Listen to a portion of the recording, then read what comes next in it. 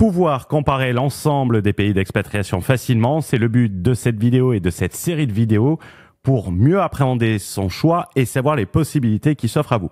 Bonjour à tous et bienvenue dans cette nouvelle vidéo euh, de notre chaîne AH Stratégiste dans laquelle on va parler expatriation et dans laquelle on va prendre comme modèle une destination que nous avons sélectionnée à titre d'exemple dans notre accompagnement Borderless Entrepreneur. Après avoir fait le même format sur la principauté d'Andorre, sur l'île Maurice, sur la Pologne, tu pourras trouver ces vidéos sur la chaîne, nous allons nous concentrer sur la destination que nous avons décidé de nommer H1.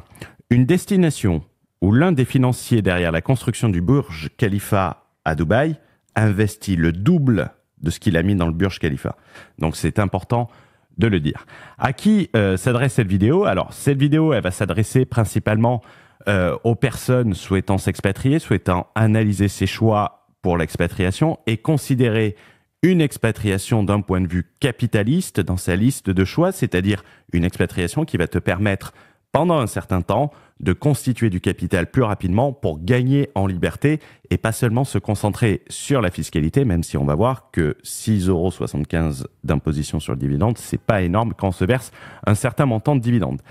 Donc, si tu nous découvres au travers de cette vidéo, tu trouveras énormément de contenu en lien avec l'expatriation sur la chaîne. Pense à t'abonner. Tu trouveras des stratégies d'expatriation et également comment optimiser son expatriation d'un point de vue capitaliste, car l'économie d'impôt seule n'est pas un moyen suffisamment rapide pour s'enrichir.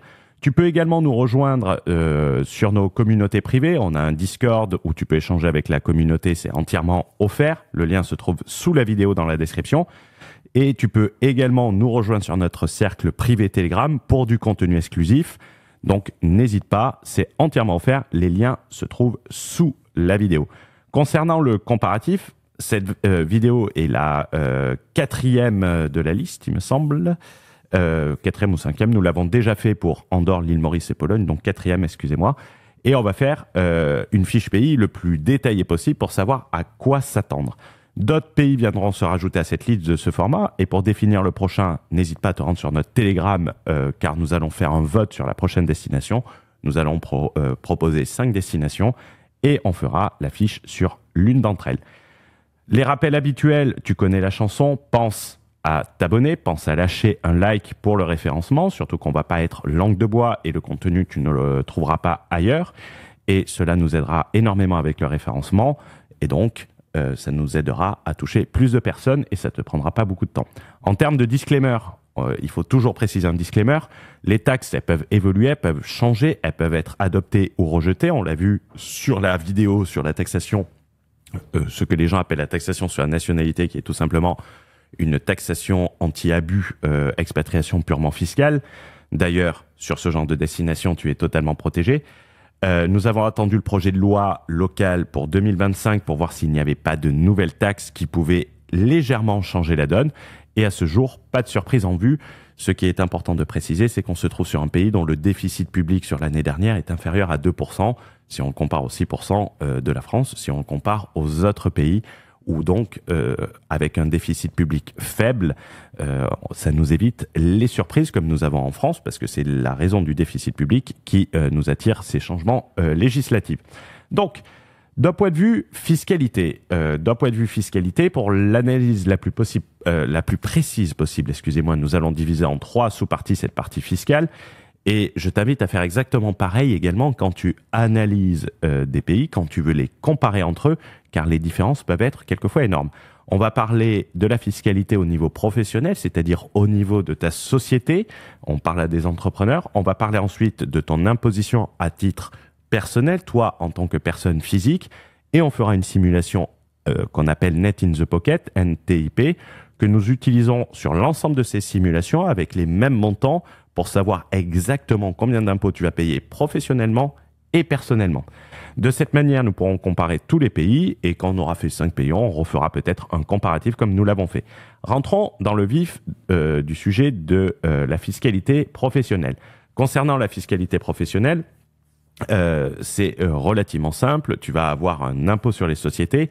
Cependant, avec des particularités et des exceptions qui sont euh, qui rendent la chose très intéressante, notamment au niveau d'un des trois éléments constituant l'impôt, ce qui fait que, on va le voir, euh, si on donne l'impôt facial, tu ne vas pas comprendre comment on arrive à l'impôt net in the pocket. Donc, il faut avoir conscience que c'est un régime fiscal très particulier sur les sociétés. Il y a également un régime euh, holding international. On va y revenir dessus ensuite euh, pour expliquer quels sont les avantages et pourquoi ça permet de mettre ce qu'on appelle les fameuses holdings mobiles. Concernant la fiscalité euh, personnelle, la fiscalité personnelle, elle va se diviser en plusieurs parties. Il va avoir la fiscalité sur le revenu, c'est-à-dire tes revenus du travail. À H1, il existe un barème de l'impôt qui est progressif. Euh, euh, comme dans d'autres pays, avec plusieurs tranches d'imposition. Et euh, la tranche d'imposition maximum est de 34%, au-delà de 200 000 euros de rémunération, ce qui laisse quand même une sacrée marge, notamment quand nous sommes entrepreneurs, et nous allons voir la particularité sur le dividende. Concernant la fiscalité sur le capital, c'est-à-dire si tu as des placements financiers à titre personnel, mais c'est quelque chose qu'on ne recommande pas pour des raisons particulières.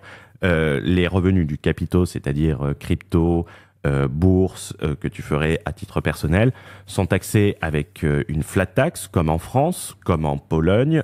cette flat tax est de 20% avec 3% complémentaires en cas de revenus globaux supérieurs à 200 000 euros. On en a parlé précédemment.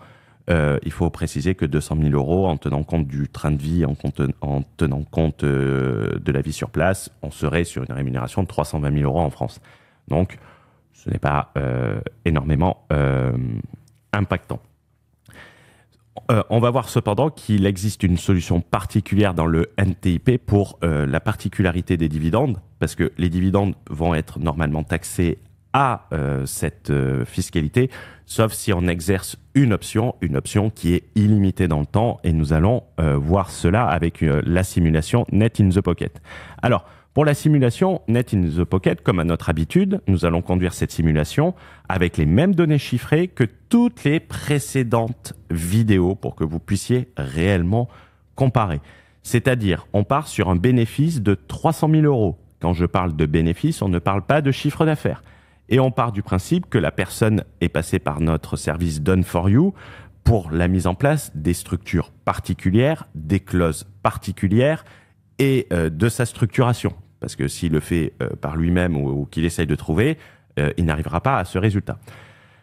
On considère qu'il se verse 60 000 euros de dividendes net, c'est-à-dire qu'il veut 60 000 euros de dividendes net in the pocket, c'est-à-dire après imposition et euh, ce, qui ce qui représente environ 5 000 euros euh, par mois.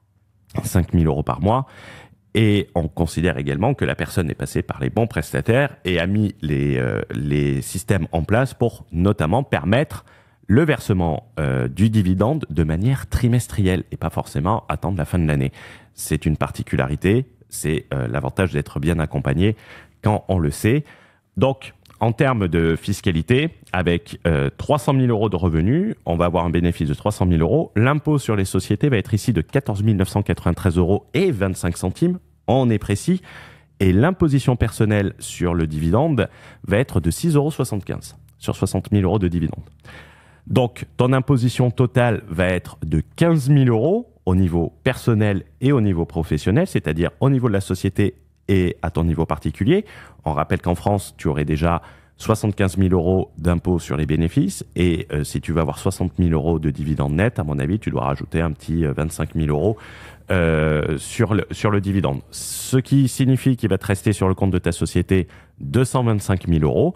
Tu vas avoir en net d'impôt sur ton compte personnel 60 000 euros. On arrive à un taux d'imposition global de 5% 5% d'imposition sur ta personne et ta société. On rappelle que par exemple à Dubaï, cette imposition est de 9%, mais il faut tenir compte du tax-free. Il faut également se dire que les commissions Stripe à Dubaï, tu payes plus de commissions Stripe que là tu vas payer d'impôts. Donc, une simulation très intéressante. D'un point de vue euh, immigration, euh, c'est-à-dire comment on s'y installe, comment cela se passe pour euh, s'installer. D'un point de vue immigration, nous sommes sur quelque chose de très simple. La procédure euh, a été répétée, testée euh, par un nombre membres et ça se euh, résume en une installation en moins d'un mois sans avoir à payer 10 000 balles pour une société, sans avoir à payer des frais colossaux. Ça veut dire que entre la création de ta société et la partie immigration, tu vas payer dans les dans environ moins de 2000 euros, ça dépend des options que tu prends également sur, euh, sur ta société, notamment si tu prends une domiciliation et tout ça. Mais euh, disons, tu vas être sur un budget aux alentours de 2000 euros pour t'installer et tu seras installé en moins d'un mois sans avoir besoin d'un visa, ce qui est excessivement rapide. Il suffit de trouver un logement, t'as pas besoin de payer ton loyer à l'année, tu as juste besoin de payer le premier mois et le mois de caution et t'as pas besoin de fournir des euh, fiches de revenus, euh, des, bulletins de paye pour avoir un appartement. Ton appartement, tu le visites à 10h, tu dis à 10h15 OK, tu fais les virements si tu as les virements instantanés, à 10h16, tu as les clés. Et ensuite, la procédure d'immigration, une fois que tu as ta société et que tu as ton appartement, c'est à peine deux semaines, donc ce qui est ultra rapide. On a un service Done for You euh, pour les membres de notre accompagnement et pour s'assurer que l'avocat, qui est un cabinet d'avocats d'affaires, mettre toutes les choses en place pour que tout soit bien fait, pour que toutes les clauses soient mises pour permettre ce que nous avons vu précédemment, pour permettre le, dividende trimestriel, euh, pour mettre tout ça. Donc, une installation d'un point de vue immigration ultra facile. D'un point de vue entrepreneurial, et là, on est sur une chaîne d'entrepreneurs, c'est des entrepreneurs qui s'expatrient, donc il faut également considérer son expatriation sous l'angle entrepreneurial. Euh, si demain euh, tu t'expatries en Corée du Nord sous prétexte qu'il n'y a pas d'impôt, je ne suis pas sûr que pour développer ton business, cela soit l'idéal. Comme je l'ai dit, H1 est un pays en plein développement. D'ailleurs, comme je l'ai dit, l'un des fondateurs du Burj Khalifa est en train d'investir plusieurs milliards d'euros sur place. Donc, euh, si lui, il investit ici, c'est qu'il voit sans doute plus d'opportunités qu'à Dubaï. Il, il, y fout le double qu'il a foutu dans le Burj Khalifa. Donc, c'est quand même important et euh, ça montre un développement et des perspectives de développement. Ces gens-là sont toujours en avance. Ils ont construit Dubaï. Ils étaient assez visionnaires. Et là, c'est sans doute pareil, ce qui permet d'avoir un bon aspect entrepreneurial. D'un côté entrepreneur, ce qui nous intéresse à encaisser les paiements, donc Stripe et PayPal vont être disponibles. H1 également dans l'espace SEPA, ce qui va te permettre de faire euh, des virements euh, d'encaisser tes virements euh, des clients sans euh, difficulté, recevoir les virements instantanés, faire des virements instantanés. Tu vas avoir toutes les fintechs disponibles. toutes les fintechs acceptent les sociétés locales, ce qui va te permettre d'avoir par exemple un Wise. Alors, c'est pas fantastique, mais tu vas pouvoir également avoir un Revolut Business, ce qui peut être intéressant notamment quand tu as des membres d'équipe ou, ou, comme sur Wise où tu peux faire des autorisations très faciles, où tu peux avoir des cartes virtuelles, où tu peux avoir des cartes sans plafond euh, pour euh, la publicité si tu as des gros budgets publicitaires. Donc, énormément de possibilités. Les banques locales, tu vas avoir euh, des banques locales et internationales. tu vas avoir également des boutiques banques. Alors, boutique bank, c'est des banques extrêmement privées en tournées vers le conseil. C'est une banque d'investissement personnel, grosso modo. Euh, notamment, les, ces banques vont te permettre le financement obligataire si tu souhaites racheter, c'est-à-dire l'émission d'obligations qu'ils vont vendre à, ton client. Alors ça commence à partir d'un certain montant qui s'exprime en plusieurs millions d'euros, mais on est euh, sur une chaîne d'ambitieux, on est sur une chaîne de personnes qui veulent euh, développer leur entreprise et se servir de leur entreprise comme levier. Ils vont permettre également le financement lombard, c'est-à-dire mettre des actifs financiers en collatéraux. Beaucoup de gens parlent du crédit lombard, mais essayent de te faire obtenir un crédit lombard et après on en reparle. Donc ces banques le permettent, elles en ont l'habitude. Comme j'ai dit, tu as des banques internationales et également tu as des divisions de banques internationales qui vont te permettre de faire financer, c'est avoir accès au crédit euh, local pour investir à l'étranger. Essaye d'être en France, euh, de prendre un crédit sur un bien étranger et on va voir ce qu'ils vont te dire et on va voir s'ils te financent l'opération. Si par exemple tu dis tiens, je vais acheter un bien en Pologne, euh, je vais acheter un bien en Pologne, je vais acheter un bien à Dubaï, est-ce qu'ils vont te financer? Là, tu vas pouvoir le faire à condition bien évidemment euh, de rentrer dans les banques, d'être dans le profit des banques. Euh, on ne parle pas de banques où on te demande 10 millions d'accès. on te demande de, de l'historique, mais cet historique, tu vas le créer au travers de ton business. Donc, c'est très intéressant. Le réseau conventionnel, et ça, j'en parle notamment lorsque tu vas vouloir te déplacer ensuite, ou tu vas vouloir avoir un centre opérationnel, ou tu vas vouloir réinvestir tes profits. Si par exemple tu veux réinvestir tes profits dans une villa à Bali, tu vas te servir de ta holding locale, qui va euh, créer une société sur place, qui va faire un apport en compte courant d'associé, qui va recevoir un retour. Tu as besoin d'une convention pour éviter que le même revenu soit taxé deux fois.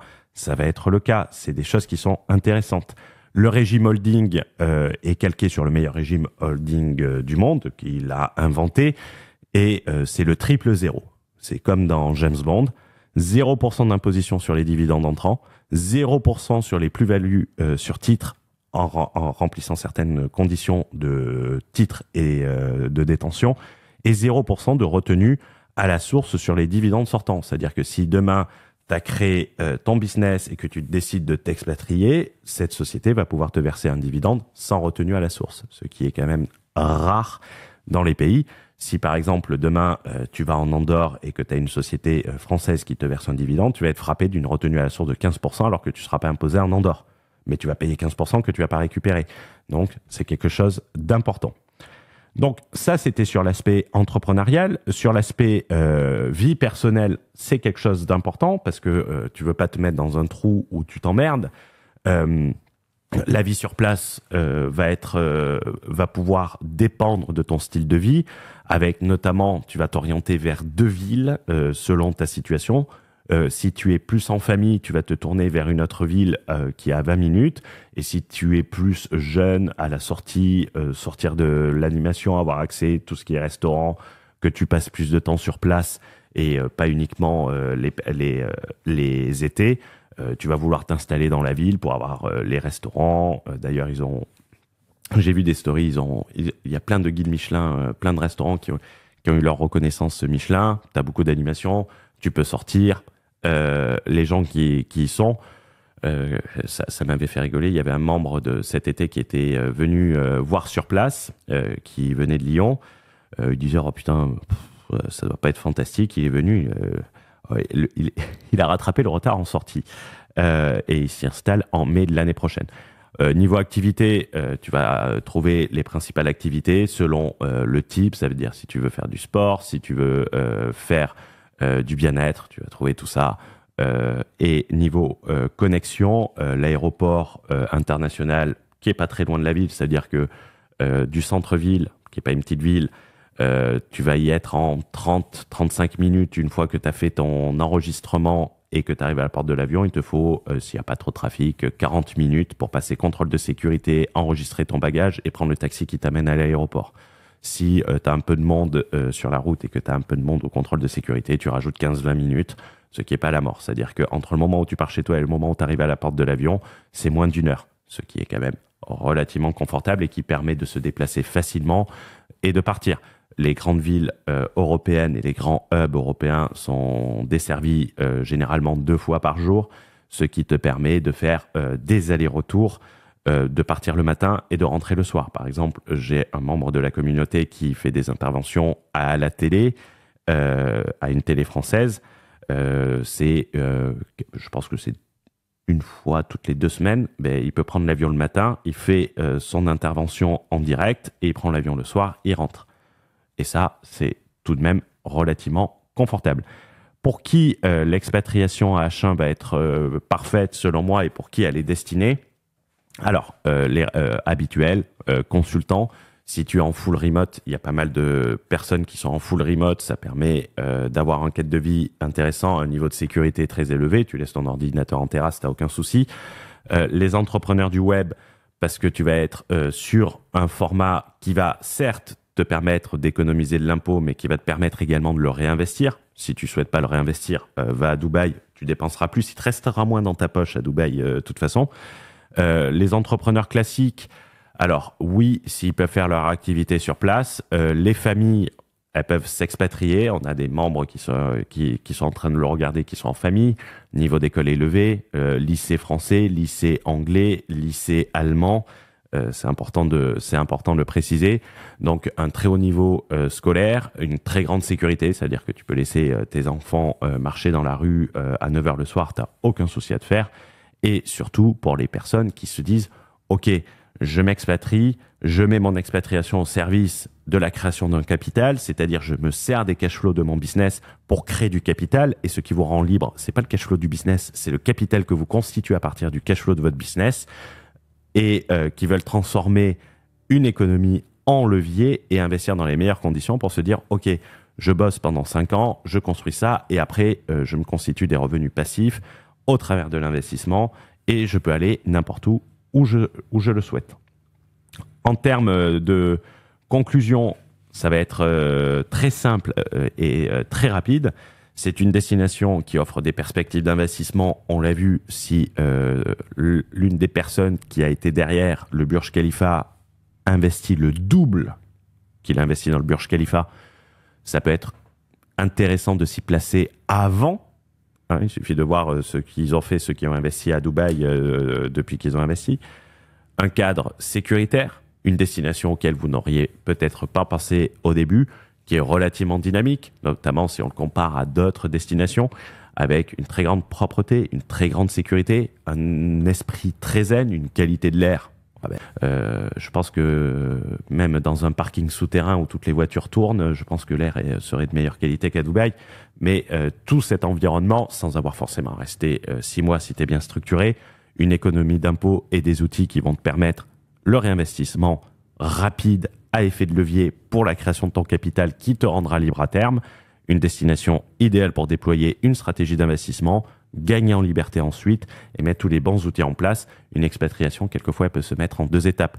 Une première étape où on fait du capital, une deuxième étape où on passe dans un euh, phénomène de jouissance, mais où on a créé son capital. Rappelez-vous, j'avais fait une vidéo il y a très longtemps, il y a peut-être trois ans, euh, bâtir avant de jouir et pas jouir et bâtir ensuite. À vous de voir. Je vous souhaite une excellente journée, je vous souhaite une excellente soirée.